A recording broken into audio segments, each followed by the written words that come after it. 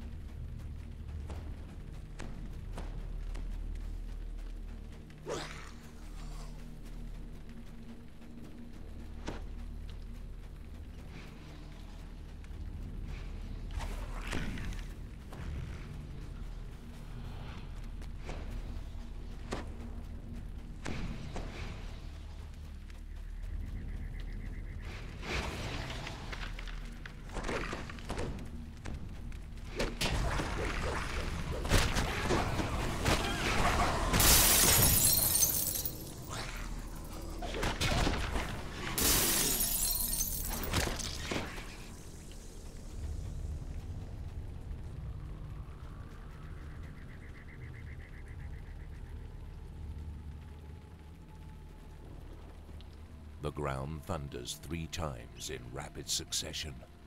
The Valkyrim are retreating. Speak to Lo Sini to continue your journey.